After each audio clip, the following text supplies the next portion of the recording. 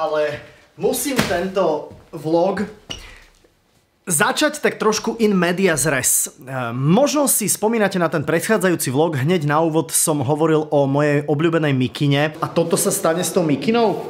takej bielej s nápisom Stranger Things, toto je druhá moja obľúbená, tiež Stranger Things, e, ktorú som raz vypral a e, tá potlač sa mi celá tak nejak rozpila a hovoril som, že proste sorry Pull&Bear, ale, ale nemôžete predávať takéto veci, ktoré po jednom práni vyzerajú tak, ako vyzerajú. A toto naozaj podotýkam a chcem, aby to bolo úplne jasné hneď od začiatku, aj preto to vybehne tu, aj tu, aj tu, toto nie je žiadna platená reklama, žiadne platené promo, ale prišiel mi z Pull&Bear mail. Nehovorím, že som to očakával, keď som to hovoril do toho predchádzajúceho vlogu, ale mal som taký pocit, že sa to niekam dostane. Dokonca sa to dostalo až do Prahy. A z Čech, z Pšahy mi prišiel mail. Vážený pane Saifo, to mám na Čechoch absolútne najradšej. Saifa, Saifo, I love it anyway.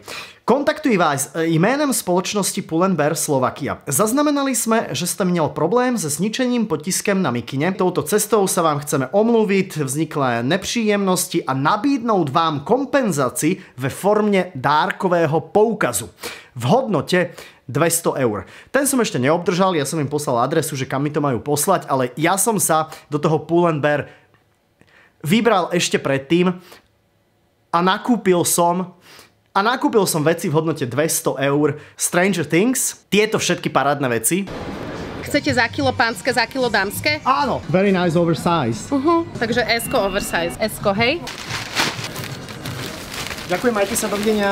Majte sa, dovidenia, ďakujem, ďakujem, ahoj. No a hádam sa neurazíte, alebo hádam sa nenahneváte. Chcel by som sa o túto radosť z tých Stranger Things eh, Mickey na tričiek podeliť s vami. Eh, tak ste videli, že mám aj pánske, aj dámske. Kto má záujem, píšte do komentáru a naša Sonička z recepcie od nás z fanrádia spraví také balíčky a pošle to teda. Máme vlastne 10 kusov, aj pánske, aj dámske, dohromady 5-5, takže 10 kusov. Rozpošlem to niekomu, kto prejaví v komentároch nejaký záujem konkrétne o to alebo o to, takže píšte. Cypher si takýmto spôsobom kupuje odoberateľov. Aha, a ešte predtým, ako napíšete ten komentár, tak by ste mali stlačiť ten gombík na sledovanie tohto celého kanálu. To je tiež podmienka inak.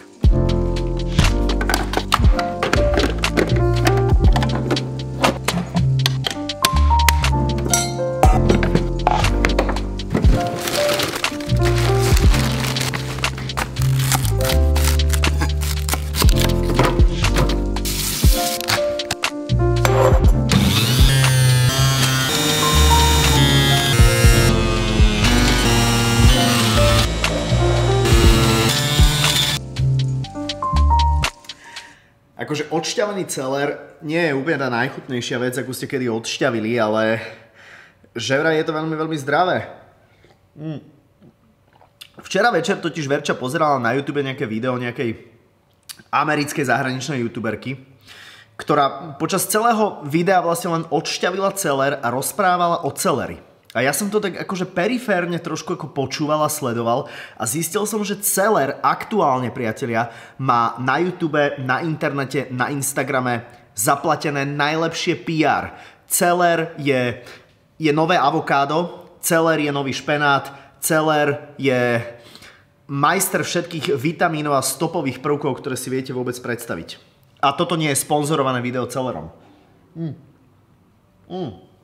Neobsahuje žiadne živočíšne bielkoviny, žiadne nasýtené, stredne nasýtené alebo úplne hladné kyseliny, neobsahuje žiaden arzén, freóny, žiadne zviera netrpí, keď odšťavujete celer. Všetky celerové farmy majú prísny zákaz zamestnávať deti. Celer je vlastne absolútny vegán. Obsahuje molekuly šťastia, absolútne raw, absolútne bio. Trošku možno na úvod trpí váš žalúdok, je to slanšie, ako by sme očakávali, ale že vraj to má spraviť napríklad s pleťou a to hovorila aj tá americká youtuberka. Že vraj hneď na prvý raz na by ste nemali akože vypiť toho príliš veľa, ja som toho vypil už toľko to, teda toľko to. A začína sa mi tak jemne točiť hlava. Je možné, že celer je halucinogénny. Nehovorte.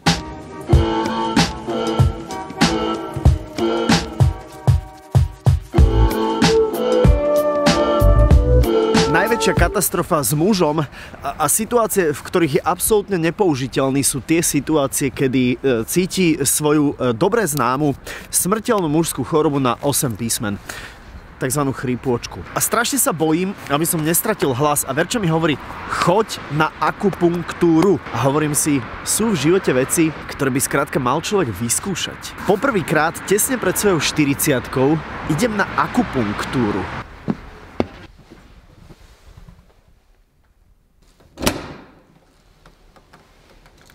One hour later. Majte sa, dovidenia.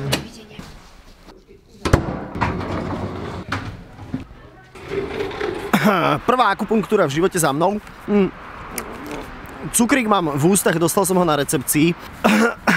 Trošku sme sa pobavili o tom, že akým spôsobom v prípade chrípky funguje celá akože západná medicína. Teraz nechcem byť žiaden mudrland alebo niečo také, že zhodli sme sa tak čiastočne na tom, že všetky tieto teraflu a všetky tieto coldrexy, čo teda nechcem sa nikoho dotknúť, ale naozaj to úplne tak akože po povrchu riešia, len aby človek zvládal ísť do tej roboty a namiesto toho, aby ste 3-4 dní normálne ležali, tak Coldrex a Teraflu s vami spraví to, že fungujete, ale bojujete v zásade s tým 2, 3, možno niekedy aj 4 týždne. Nie všetky západné lieky sú určite zlé. Napríklad, čo ja viem, taká Viagra vie byť obrovský zážitok. Chrypôčka, nie chrypôčka. E, v dni treba pokračovať ďalej a chcem odkázať všetkým tým, ktorí sa ma snažia nejakým spôsobom kontaktovať a napíšu mi možno raz, možno dvakrát a potom to celé zabalia že sa im skrátka neozývam, aby boli vo svojej činnosti možno o trošku máličko vytrvalejší. Pred nejakým časom ma kontaktoval e, jeden človek, ktorý sa volá Lukáš. Poznáš Lukáša? Baníka. OK, dobre. Poznáš Lukáša? Nepoznám, dávam fotku. OK. No dobre, takže Lukáš je vlastne akože známy na tejto škole, teda relatívne známy. Díky moc. E, Čo je toto za škola? O, stredná odborná škola masmediálnych a informačných štúdií. Dobre, aj ty si sa na to musel pozrieť, aby si vedel, do ktorej školy chodíš. No a Lukáš mi niekoľkokrát na Instagrame napísal, že či by som neprišiel na nejakú takú ako debatu so študentami, ako sa zvykne hovoriť. A potom som na to nejakým spôsobom začal reagovať, pretože Lukáš bol vo svojej činnosti veľmi, veľmi vytrvalý. Dobrý, poznáš Lukáša? Áno, to je môj spolužiak. Takže idem správne. Yes. Aby som sa dostal ešte k tej pointe, treba byť vo svojich činnostiach vytrvalý. E, Dobrý deň, prosím vás, idem za, za Lukášom Baníkom. Ďakujem. Tak vy to moderujete? Áno, Wow, Saifa je tu. A to aj, to aj vieš na spameť? áno, teraz som sa to naučil. Takže hádam to viem na spomeň, no. Dobre, dobre, dobre, je už tu, ale dobre, našim dnešným hostom bude známy a obľúbený moderátor, youtuber, vloger, influencer, ale aj vyštudovaný učiteľ slovenského a anglického jazyka. Vítame ťa a na začiatok by sme ti radi položili zo pár otázok. Môžem ja ešte tak akože jemne využiť e, príležitosť, len by som chcel e, vám všetkým teda mladým ľuďom, špeciálne chcem, aby ste zatliskali Lukášovi Baníkovi. Len prosím ťa zakývaj, len aby sme vedeli, že si to ty. Lukáš je jeden z, z najotravnejších ľudí, akých poznám. A myslím to naozaj len v tom dobrom, pretože ma vyotravoval e, na Instagrame brutálnym spôsobom, ale hovorím to preto, lebo keď chce človek v živote niečo dosiahnuť, tak musí byť vytrvalý. A Lukáš bol absolútne vytrvalý a preto ti ďakujem, že, že tu môžem teda byť. Takže ďakujem ešte jeden veľký pokles, díky. Tak ja sa ťa spýtam, že aký máš ty pohľad na fast fashion a na slow fashion, čo ty si o tom myslíš? Ježiš, ale počkaj, to- ale to, ja, ja neviem, čo to je. Ja mám otázku, že či plánuješ kandidatúru na prezidenta. To je podľa mňa veľmi dobrá otázka. Ty by si ma volila? Asi áno. Podľa volebného plánu samozrejme. Dobre, dobre, ruku hore, kto by mňa volil ako prezidenta.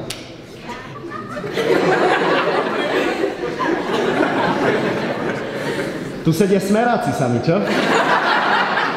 Mne by sa strašne páčilo, keby moja žena bola prezidentka a ja by som bol prvá dáma. To by bolo, to by sa mi páčilo. bola tá prvotná myšlienka na to, aby si začal točiť Level Lamu? Je podľa teba Master of Puppets najlepší album od Metallicy? Fú, tak to je ťažká otázka. Uh, asi Injustice for All. OK. Najlepší album. Dobre, a tam je pesnička Ride the Lightning? Nie. To je kde? To je v albume Ride Lightning. Ó, ty kokos, dobre. Ja nebudem môj taký basic, že si kúpim merch a budem sa iba tváriť, že to počúvam. A odtiaľ je asi moja obľúbená pesnička One, ale dobre, no. To, OK. je, to je asi otázka. Dobre, a obľúbená od Metalindy? Tak to nepočúvam, to je sloven... slovenské, nie. Chcel by som sa spýtať, že napríklad, eh, keď si ty bol mladší a začal si nejakú tú svoju kariéru a keby napríklad ja v dnešnej dobe chcem robiť niečo podobné alebo dostať sa na miesto, aké máš teraz ty v tom mediálnom slovenskom svete, či by to bolo podľa teba ľahšie alebo ťažšie, alebo ako by to, ako, ako by to išlo pre mňa, alebo pre ľudí celkovo. Teraz mi chceš povedať, že sa pozeráme na budúceho Martina Nikodima? Ale napadlo ma to, že, že, že aké to bolo, keďže si vrával, že vtedy, to, vtedy nebol aj internet, vtedy bola prípadná televízia, teraz je tých médií o mnoho viacej. Či by to bolo podľa teba ľahšie, ťažšie, bolo by to, alebo ako, ako by to podľa teba prebiehalo? Že už sa nám kráti čas, takže by sme chceli tebe poďakovať, že si si na nás našiel čas a že si nám odpovedal na naše otázky.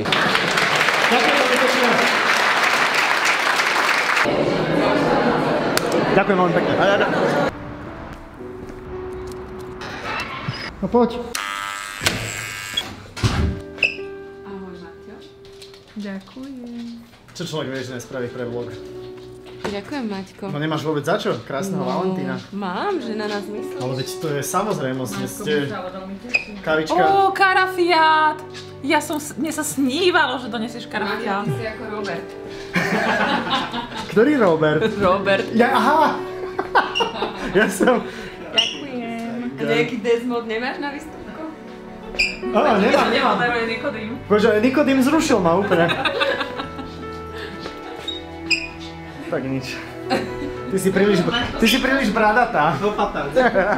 Ježiš, on môže byť takýto. No môžeš Kvôli- byť takýto. Tak, jeden je tvoj. Ďakujem krásne. Zlatúšik. Prosím. Ale aj bosk si zaslúži. A ja by som chcela dať von. Ježiš, prosím.